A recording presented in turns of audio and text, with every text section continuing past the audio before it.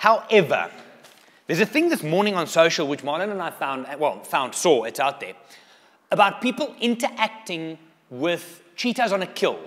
Now, I don't know if the kill was real or if it was placed there for them, but the scenario is cheetahs on a kill. How many cheetahs were in that shot? Two, three? Like four. Four, mom and youngsters. So mom and youngsters cheetah on a kill, and people literally within touching distance of these things. Now, I'm sure this is set up. Now, I've got to, I think there's huge ethical issues with this because that is not wildlife photography. Come on. That is, that's a set-up scene which, number one, compromises the animal.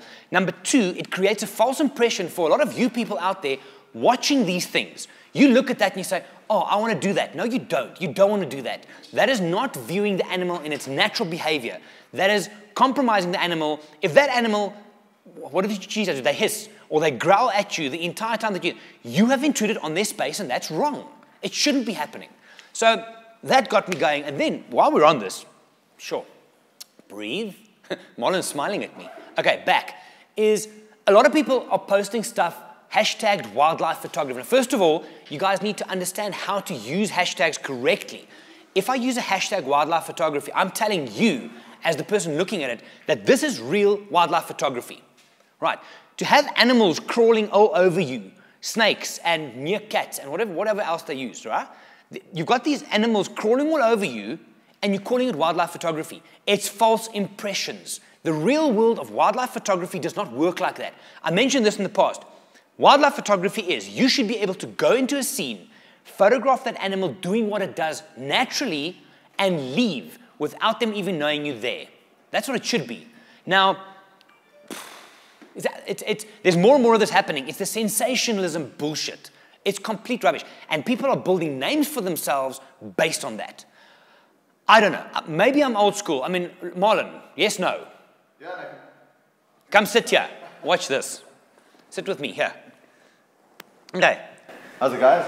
Yeah, so I pretty much agree with Gerry. You know, like for me, um, it's it's very sad to see the way that a lot of this is going, and exactly what he what he mentioned. It's sensational. It's trying to get people to like your photo, to trying to show people how more likes. You know, yeah, no, but it is. It's it's it's it's trying to get build a following, and for me, I'd rather not build a following. I'd rather have 100 followers and, and stick to, to what I am about than, than sit with 15,000 followers and have um, this just fake world all around me. Um, you know, you're trying to promote photo safaris and you're trying to, to sell gear and you're trying to, uh, you know, to do all these things, but um, Not know, like that. And, and also, it, it, it just comes down to people then seeing you interacting with wildlife in this manner, standing next to elephants, you know, conducting an interview while two elephants are right next to you. Um, and not, not, not always portraying it that these elements, elephants are 100% tame. And, and even if you do, there's people that are going to come out on safari and get out of their car in Kruger because this person does it now, they feel they yes. can do it as well. And accidents happen this way. And I just don't feel like that's the way I will never go. And I don't feel people should buy into that because it's not real. It's not the No. way that, that, that it's intended to be. Exactly. See, wildlife photography is about what? It's about wildlife. Yeah? Yeah. And what we do as private guides, as photo safari hosts, and I'm speaking for Wild Eye here, yes? Yeah. It's about the wildlife, it's about the safety, it's about the future, it's about the conservation of the wildlife. To have those things crawl all over you is creating the wrong impression. I would rather go on a trip, and I say this again, I would rather go on a trip making sure that that animal I'm photographing is safe, out of my way, rather than getting the shot. Yeah. That, that's it. And also to add to that, um, one of my, probably my main mentors, a guy growing up, is a guy called Alan Yoet. And there's a couple of things that he always um, hammered into us and, and something that I really took to heart. The one is when you, when you approach wildlife, Gerry said it earlier, but as a guide, when I'm walking, especially on foot, in a vehicle it's tough to do, but when I'm on foot with wildlife, ideally, if you can approach an animal, view it with your guests, have an amazing experience, and leave without that animal, animal ever knowing you were there, wind direction, uh, movement, sounds, uh, scent, all these kind of things.